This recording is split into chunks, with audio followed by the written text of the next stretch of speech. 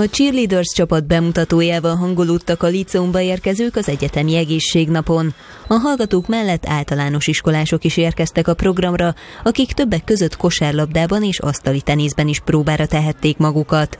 Én is sportok, meg így az osztályunkban is mindenki jár szabad idejébe, egyesületekbe, közösségekbe, hiszen ez egy másik csoport, egy másik közösség is. Persze az egyéni sportok is jók az embereknek, viszont szerintem a csapatsportok azért mindig más a feelingje.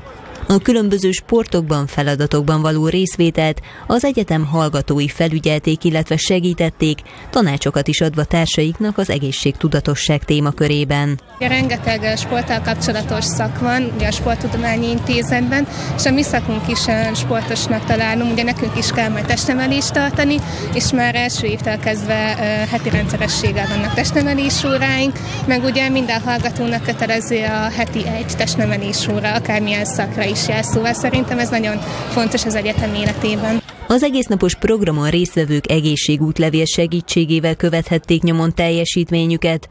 A rendezvényen az egyetem rektora is felhívta a figyelmet az egészségmegőrzésre. Úgy vegyük komolyan az étkezés, a munka, a pihenés, a feltöltődés egyensúlyát, a nyugodt elmét és a pihentető alvás fontosságát, mintha az életünk múlna rajta, mert hogy ez így is van. Az egyetem életében áprilisban különös figyelmet fordítanak a sportra, illetve egészségmegőrzésre, így több programra is felhívták a hallgatók figyelmét.